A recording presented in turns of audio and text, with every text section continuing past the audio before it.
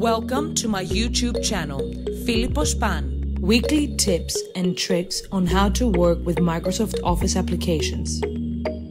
Be wise and subscribe. Today's video will be about Microsoft Outlook. How to set the junk mail options in Microsoft Outlook. The folder that Microsoft Outlook sends the email that thinks it is spam is the junk folder. We can easily customize Microsoft Outlook spam filter to block senders, domains, and etc. so it can delete the spam automatically. First, we must select a message in our inbox that we consider as junk email.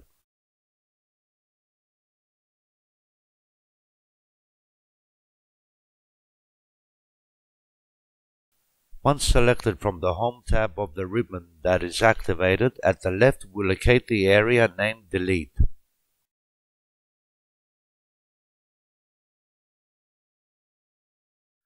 At the bottom left corner of the Delete area is located the command Junk, where we can mark the selected item as junk or prevent items sent by this sender, this sender's domain, or this group or mailing list from being marked as junk.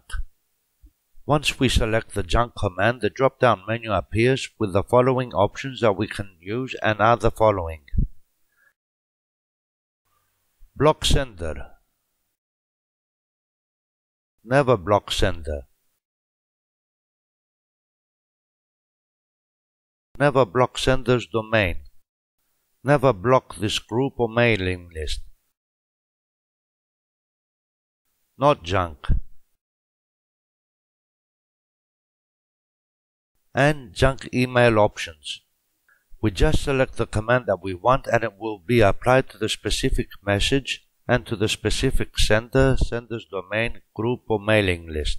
If we select the junk email options command from the drop-down menu, the junk email options window will appear. The junk email options window is separated into five different tabs and which are Options, Safe Senders, Safe Recipients, blocked senders, and international. In the Options tab, Outlook can move messages that appear to be junk email into a special junk email folder. We just select the level of junk email protection that we want by selecting one of the available levels.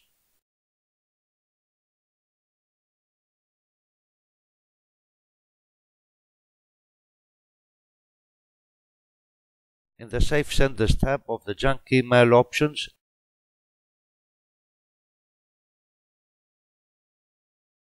our email from address or domain names on our Safe Senders list will never be treated as junk email.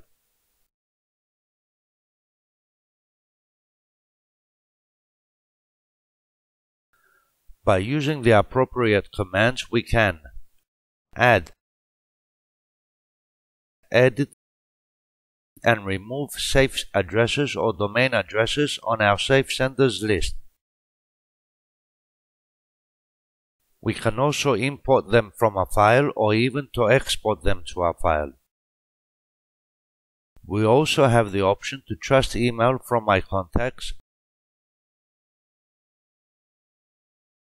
and automatically add people I email to the safe senders list by activating the checkboxes next to the commands. In the Safe Recipients tab of the Junk Email options, our email that is sent to addresses or domain names on our Safe Recipients list will never be treated as junk email. By using the appropriate commands, we can add, edit, and remove safe senders or domain addresses on our safe recipients list. We can also import them from a file or even to export them to a file.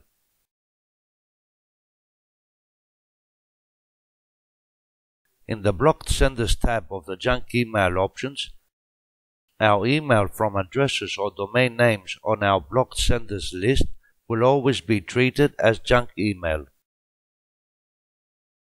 By using the appropriate commands, we can add, edit, and remove addresses or domain addresses on our blocked senders list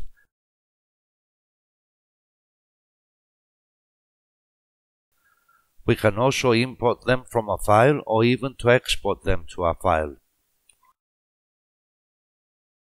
Finally, on the International tab, some email messages that we receive might be written in languages that we are unfamiliar with and don't want to read. These messages can be marked as junk and moved to the junk email folder. We have two options that we can use and which are Block top level domain list allows us to block all messages sent from an email address ending with a specific top level domain.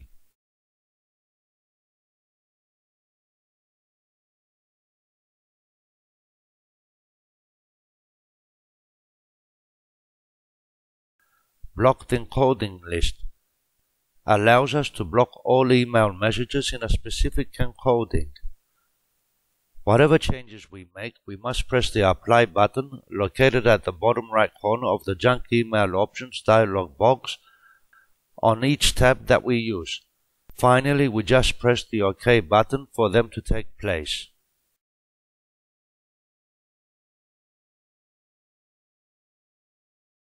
Thank you for watching. If you liked what you saw in this video, go ahead and subscribe to my YouTube channel. If you have any questions or suggestions, head down to the comment section and let me know. Be wise and subscribe.